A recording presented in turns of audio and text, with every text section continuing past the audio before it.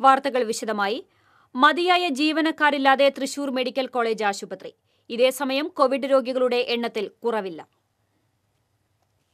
Mulankunnathukavu medical college ആശുപത്രിയിലെ Covid I സിയുവിൽ എൺപത്തിയെട്ട് ശതമാനം കിടക്കകളിലും രോഗികളുണ്ട്. അമ്പത്തിയൊമ്പത് ഐ സിയു കിടക്കകളിൽ അമ്പത്തിരണ്ട് കിടക്കകളിലും കോവിഡ് രോഗികളാണ്. അമ്പത്തിരണ്ട് വെന്റിലേറ്ററിൽ അമ്പത്തിയൊന്നെണ്ണത്തിലും രോഗികളുണ്ട്. സംസ്ഥാനത്ത് കോവിഡ് ബാധിതരിൽ ജില്ല മുന്നിലാണ്. ചികിത്സ തേടിയെത്തുന്ന രോഗികളുടെ എണ്ണത്തിലും കുറവില്ല. എന്നാൽ രോഗികളെ ചികിത്സിക്കാൻ മതിയായ ജീവനക്കാരില്ലാത്ത അവസ്ഥ. ദേശീയ ആരോഗ്യ മിഷന് കീഴിൽ ജോലി ചെയ്തിരുന്ന ജീവനക്കാരെ കൂട്ടത്തോടെ പിരിച്ചുവിട്ട് ഏറെ നാളുകളായിട്ടില്ല. തൃശൂർ മെഡിക്കൽ കോളേജിൽ നൂറ്റി തൊണ്ണൂറ്റിയൊന്ന് ആരോഗ്യ പ്രവർത്തകരെയാണ് പിരിച്ചുവിട്ടത്. കോവിഡ് പ്രതിസന്ധി കുറയുന്നുവെന്ന് ചൂണ്ടിക്കാട്ടി പിരിച്ചുവിട്ടവരിൽ ഡോക്ടർമാർ നഴ്സുമാർ ഫാർമസിസ്റ്റുകൾ ടെക്നീഷ്യന്മാർ അറ്റൻഡർമാർ എന്നീ വിഭാഗങ്ങളിൽ ജോലി ചെയ്തവരുണ്ടായിരുന്നു.